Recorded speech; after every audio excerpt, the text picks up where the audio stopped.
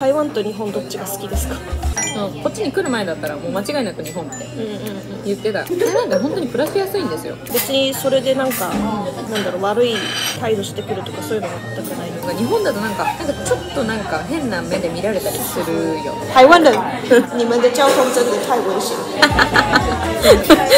怒るよ。怒られちゃう。炎上しちゃう。炎上しちゃう。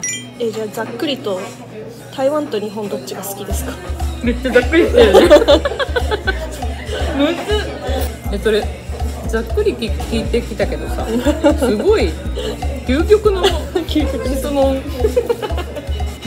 え難しいこれ。ずっと暮らしたいって思うのはどっちですか？うーん。すごい難しい。うんこっちに来る前だったらもう間違いなく日本ってうんうんうん。言ってたけど台湾って本当に暮らしやすいんですよ。こんなに悩むぐらいあ今どっちもー好き好き。うん。なんかどっちも好きだしどっちも嫌な点があるからあ日本だったらさ住みやすいし安全だけど気使う、ーあー人間関係、うん人間関係とか。でも台湾だったら全然気使わないしのびのび生きていられるけど危ない時もあるしちょっとのびのびしすぎててイラッとする時もある、あそう。どういうところにイラッとします？今ほとんどない。もう慣れたからないけど最初は？最初その台湾人のその友達の言い方があまりに直接的すぎてムカついたことある。えどんな？そんな？なんかさ聞いてもいいですか？いやぜひぜひなんだろうあの日本人だったらさ例えばそのえこうだよねって言われた時でも私はそうじゃないと思ってた時。まああーまあ確かにそうだよね。でもさこういうこともあるよね。みたいな感じで言うじゃん。でも台湾人はブスみたいな。ブスぞやんみたいな。もう完全にもう否定みたいな。否定そうそう。してきてブスぞやん我觉得とかそういう風に言うじゃん。そう。そこに最初慣れなくて。え？ってそんなに否定する？ってでもそうでもそれは別に否定してるっていう感じでもないんだよね。なんかその自分の意見を私はそうじゃない。私はそう思わない。私はこう思う。みたいな。主張してる。主張してるだけだから。そう。別にその私を否定してるわけではないけどなんか最初それがすごい慣れなかった。なんかおーお自分の意見ダメって言われるとちょっと傷つくじゃん。心がえーってなるじゃん。びっくりするじゃんそれはすごい最初あった。そういうことなかった？あそんな強い人にあんま会ったことないなそっかそっかそっか。日本語学科の人とかってさその日本人がどういう人かって分かるじゃん結構。なんかこういうこと言ったら気にされちゃうかもしれないとか。だからそのそういうの気遣って話してくれてるかもしれないよね。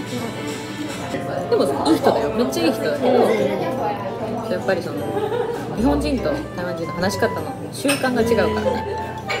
それは最初ちょっと。慣れるまでちょっと大変。おおってなりそうね。日本と台湾どっちが好きっていう話ね。それはすごく難しいです。まあ確かに私もそう聞かれたら超答えられなくない？答えられない。でもやっぱりなんかさその日本から離れるとさ、その日本のいい点も悪い点も分かるじゃん。面うん確かに。白いよ。なんか私はあんまり話さない人だから日本にいると、こういう陰キャっていうか、うん。あんまり話さない人って省かれたりとかはいはいはい。なんかちょっといじめの対象になったりとか、うんうんうんうん。そういう標的になりやすいんだけど台湾だと別にそんなこと全然なくて。へえなんかもうこの人はただ静かな人っていうだけで、うん。別にそれでなんか、なんだろう悪いうん態度してくるとかそういうの全くない。そうなんだ。それはでもいいね。結構ちょっと違うなってう。んうんうんうん。確かに。なんか日本だとなんかなんかちょっとなんか変な目で見られたりするよね。多分。陰キャって 動画では結構明るいけど。結構陰キャなんで動画でめっちゃ明るいもんね。でもあの教えて台湾の方の動画を撮ったんですけどね。最初めっちゃ人見知りしてたでしょ。今もうこんなに喋ってますけど。そうなっちゃう。でも台湾人は結構フレンドリーでうんそれでも話しかけてくる人が多い、うんうん助けられてる。こっちが陰キャでも。うんそう陰キャでも。陰キャでも話しかけてくれる。優しいな。確かに。な日本人の人陰キャにあんまり話しかけない。ですよね。うんある。それは大きな違いだなと。うんうんうん。なんかその人をその見た目で判断するとかじゃなくてまず話しかけてみるよ。ああそうそうなんか。まず話しかけていや嫌いだったらもうバッていなくなるし、その通りそうなんです。そう。そうなんです。そこが結構はっきりしてるんですけど。そそう好きだったらずっと一緒にいるみたいな。そんな感じだよね、中身を見てくるちゃんと。そうそうそうそうそう。見た目じゃなくて。そう。でもさ中身を見てくるからこそさ嫌われたら 悲しいよね。あ中身もダメなんだ。ダメなんだ。私中身も人気なんだよね。外も見た目も中もダメなんだダメなんだよね。それちょっと傷つくね。それ泣いちゃうわ無理。あとさ台湾の人ってさ相手に年齢聞かないよね。うんうん日本の人ってさ必ず年齢聞かない？なんかどういう話し方とか接し方したらいいかなって。あそっか。そう。判断するじゃんまず。あの上下関係。とあるから。だからまず年齢を聞くじゃん。うん。でその年齢知った後にこの口調が変わるっていうそうそうそうそう敬語が。あ年上だったんですか？すいませんみたいな。みたいな今までタメ語で喋ってたのに。でなんか年下だとあうん。ままあそこまでねまあそこまですごいうんってならないけど、うん。タメ語使うよね。態度が変わっちゃう。変わるねうん。そういうところは日本と全然違う。違うかなって、うん、そういうのは台湾の方が楽だあなと。あ本当。うん。あと台湾ってさあのーもう一個名前があるじゃん英語のニックネームがあったりするじゃん。だからその人の本名を知らない時ない？ああ確かに。そうそうそう。全く違う英語の名前が。そうそうそうそう。そうなんか自分でつけるんだよね、うん。好きなやつを。だからその人のフルネームとか何にも知らない時ある。それで言うと日本語の名前とかもある。うん。あるかも。私は日本語学科にいるから、うんうん。なんかそういう日本語の勉強してる生徒とか台湾人は自分で日本語の名前もつけている。えー、そうなんだ。最近どういう名前が多い？なんかゆきちゃんがいいみたいなゆきちゃん？うん、うん。なんでだろうね。うん、よくわからないゆきちゃん多いよね。うん。私の友達にも2人ぐらいゆきちゃんあそううん。りんごちゃんとかもうんあれ面白い。可愛いよねうんりん。ごちゃん。あとなんか、漫画から取ってくるとかもある。うん。あるあるあるこのキャラクターかっこいいからみたいな。あるいやあるあるえじゃあさこれからさ炭治郎とか出てくるの？炭治郎って呼んでください。めっちゃいいと思うけど。まあいいんだけど、好き好き。全然あと中国語って好き「に」とか「た」っていう単語があるから別に名前知ってなくてもいける。その人のことを呼べる。呼べる呼べる呼べる。だから別に名前を聞こうと思わない。確かに確かに、確かに。それめっちゃあるね。うん。日本語ってあなたとか言わないもんね、うん彼がとか。そうそうそうそうあんま言わないよね。だから名前聞いて「えなんて呼べばいいですか?」って。うん。あまず言うよね、確かに確かに。じゃないと会話できない。確かに、うそうだね。りんさんとか、うん。はるさんとか何々さんは何々何々ですか？みたいに聞くもんね、だからぶっちゃけ中国語便利。めっちゃわかる。ちょっと名前忘れちゃってもその人を呼べる。にすねあとさ日本語って長くない？長い。長いよね。長すぎるよね。長い。たまになんか本当に日本人の友達と話してても長すぎるから中国語で喋りたいなって思う時あるよ なんか仕事上だったらその挨拶の言葉だったりとかなんか敬語？本当に使い方がわからない。そうだよね。そうだよね。なんか一応さ台湾にもさ敬語みたいなものがあるじゃん。あるそのビジネス中国語みたいなのがあるじゃん。でも日本ほどじゃない。じゃんうん。うん。お仕事のさメールとかさマジで。さ見るだけでマジでめんどくさいもんね長いです。本当に。いや一言で済むみたいな。本当に。さ例えばさそのなんだろう。じゃ今日ミーティングがありましたみたいな。でもちょっと出れなくなりましたみたいな。だから次のなんか違う日でいいですかみたいな。こともさ中国語だったらさ3分ぐらいで終わる。じゃん日本語だとさ10分ぐらいになる。なんかお世話になっております。何々でございます。大変申し訳ございませんが本日のミーティングは 感じになるじゃん。つきましてはみたいな。日を改めさせていただいてもよろしいでしょうかみたいなことになるじゃん。いや本題どこみたいな。そうそう言いたいとこ何？って。ここにまとめていいんだよってなるじゃん。なんかそれが本当に、なんかいい文化かもしれないけどやや無駄だよねそういうところは中国語はめっちゃいいな。うん確か甘いものの中で何が一番好き？にアイス。アイスか。うーん。何アイスがいい？あー。あの日本だったらはい。雪見大福とか。あ私も大好き。あとあの、ん。なんだっけ？パルパルムうん。パルム？あパルム。うんうんうん。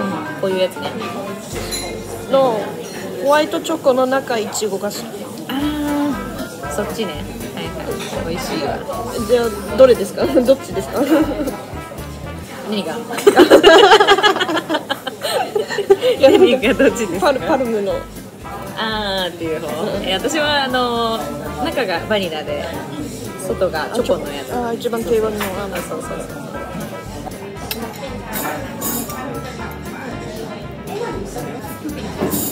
めっちゃ美味しい。めっちゃ美味しい。本当だ。めっちゃ美味しい、濃厚。そうだね。チーズの味がすごい。うん。じわーって感じですね。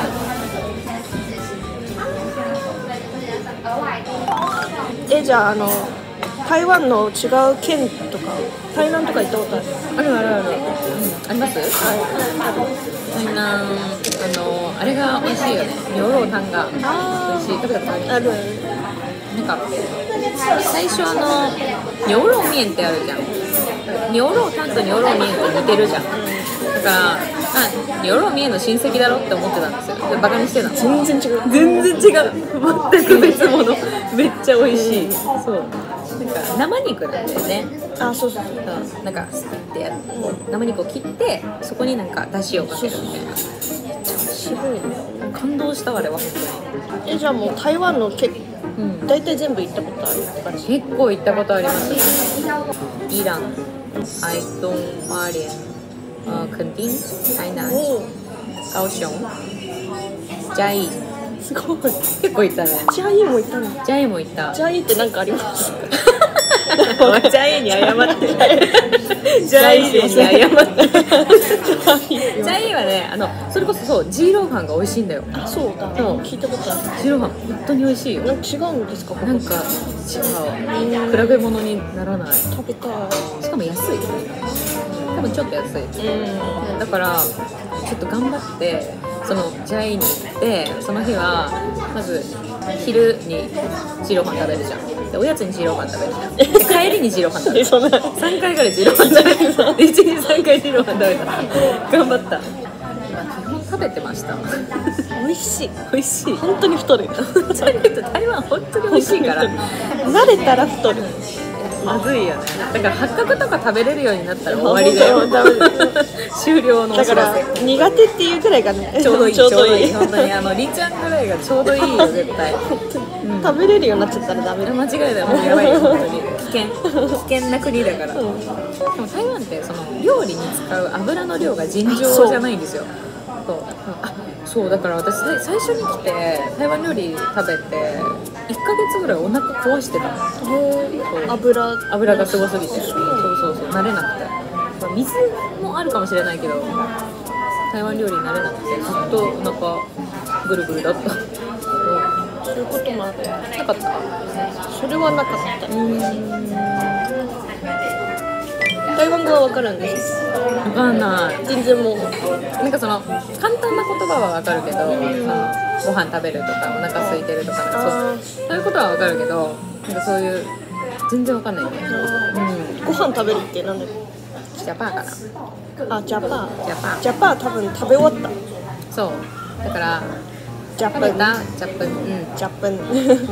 ジャパブエとか。あジャパンスーハンラーメンとかね。うん。それぐらいしかわからない。台湾語勉強したいですよね。したいですね。台湾語わかる？聞き取れるのはなんとなく。感じ。すごいすごい。喋るのは全然できない。よくさ日本の台湾のこと何も知らない友達とかにさ「え台湾に住んでるんだ。えじゃあ台湾語できるの?」って言われるじゃんできないよ。あるある。そう。これあるあるだよ。できないできない。え中国語なの？みたいな。そうえ台湾語じゃないの？何それって感じそう。日本ってさ日本語しか言語がないじゃん。だから日本人からするとえ？って感じなんだよね。うん。確かに。そうそうそう。台湾語って勉強するの難しいよね。勉強の仕方がわからないみたいな。どうやって勉強する？中国語って成長4つじゃんで台湾語は7個あるんだよ。ねそううん。ね知らなか7っ個。なんかその4個のそのガオディがあるの。でその変化もいろいろあるから。すげえ難しい。ただから難しいの？そうだから難しい。でも日本ってさ似てる言葉もあるよね。うんうんうんオートバイとか。そのオートバイ。頭コンクリとか。あすごいそれ知ってるの。すごいすごいすごい。頭コンクリこの？日本人からこの言葉出てくると思わなかっ本当に？言う言うえだっておじいちゃんおばあちゃん結構言うじゃん。頭コンクリってた頭コンクリうんそれ頭おかしいってこと、うんなんでコンクリなんだろうって思ったことないの？カカッチカチだから。ガッチガチだからか頭コンクリうんしかもその言い方コンクリの言い方が面白い。頭コンクリそう。必ずこの発音だよねそれ結構でもおばあちゃんとかも言ってた？頭コンクリうんそんな頻繁にではないけど聞いたことはある。そんないい言葉じゃないからね、まあ。確かにはるさんの方の「教えて台湾」っていうチャンネルでも、私の留学経験っていうのを話してるので、うんうんよかったらそっちも見てみてくださいぜひぜひ見てくださいりんさんのね留学の時に大変だったことやあんなことやそんなことが 話してありますのでぜひ見てくださいじゃあ值得创作者就赶快去 follow 他哦！你有发现其他更具爆红潜力的影片吗？赶快投稿给达人秀吧！点击下方观看更多有趣内容。